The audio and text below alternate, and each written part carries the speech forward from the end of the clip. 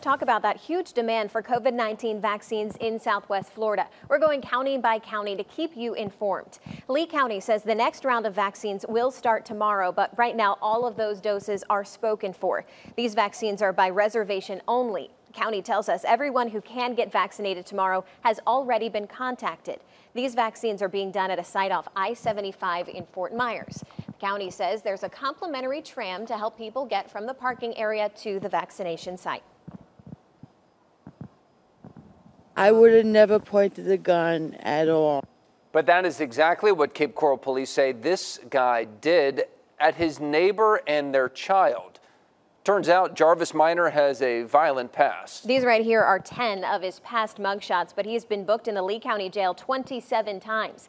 NBC2's Ashley Dyer is in his neighborhood tonight, walking us through the latest crime that put him back in jail. Jarvis Minor held a family at gunpoint after their dog wandered onto his front lawn. This is his home right here and where that incident happened. Neighbors we talked to say they're shocked to know they're living next to a convicted felon.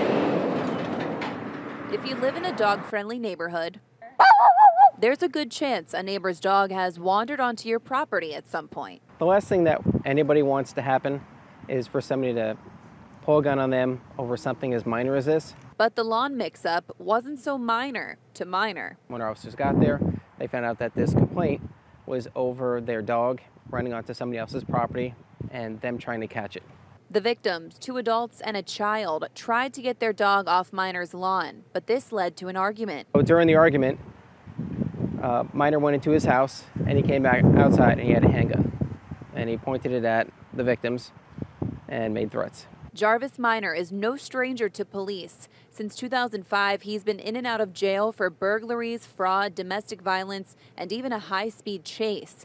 People we talked to were surprised to learn about their neighbor's lengthy criminal history. I think he has three children, I'm not sure.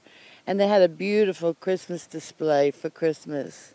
I would have never pointed the gun at all. Belinda Hallman lives just two houses away from Minor and walks her dog Lily every day.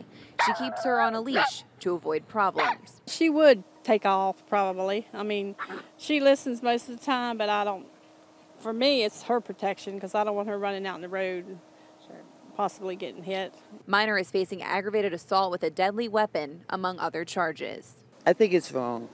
He, it's right to have arrested him, definitely. 26 times prior to this, just bonded out of jail within the last hour. We saw him pull up to his house in a yellow cab and walk inside. I'm live in Cape Coral, Ashley Dyer, NBC2.